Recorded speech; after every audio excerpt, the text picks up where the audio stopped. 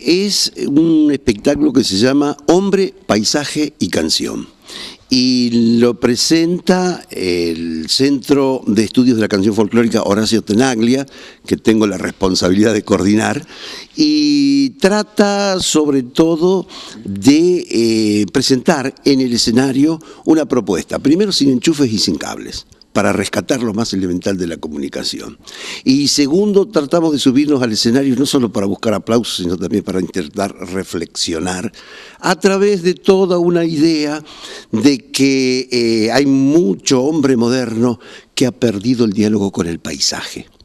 Y ese es un diálogo que a través de la obra de los poetas que tenemos, nosotros sostenemos que puede mantenerse ese diálogo. Eso va a estar sobre el escenario con la participación de Marcos Montechiari, eh, Marcos Luciani, eh, María José Pallero, Diego Chocobare, que forman parte de esta, esta agrupación Horacio Tenaglia, que lleva el nombre de un gran amigo mío que le debo tantas cosas para, especialmente en este terreno.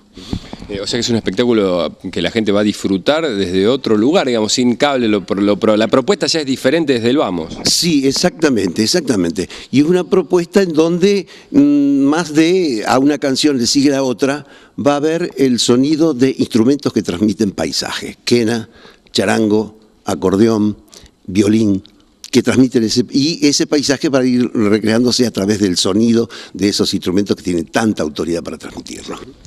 Guillermo, en este caso la Fundación Rosa de los Vientos acompañando y auspiciando este, este evento. Eh, sí, eh, yo lo escucho a Pedro y realmente es un deleite por lo que sabe y, y, es un orgullo contar con la presencia de todos estos músicos de Marco Juárez, estos artistas que permanentemente a través de lo que fue en un comienzo Artista Solidario han colaborado siempre con nuestra fundación.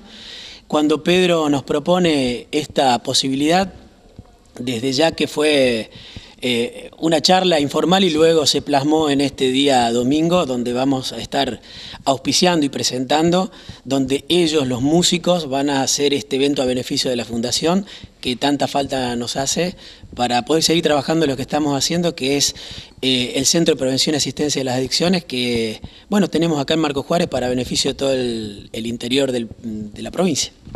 Eh, cuando decís a beneficio, ¿va a haber un, valor de una entrada? ¿Va a haber un bono colaboración? ¿Cómo se va a hacer? Va a ser un bono colaboración de 50 pesos que los pueden, todas las personas que van a estar asistiendo a la Bienal, está nuestro stand y bueno, lo pueden adquirir ahí o bien el día domingo a las 20 horas ahí en el auditorio de la COISPU.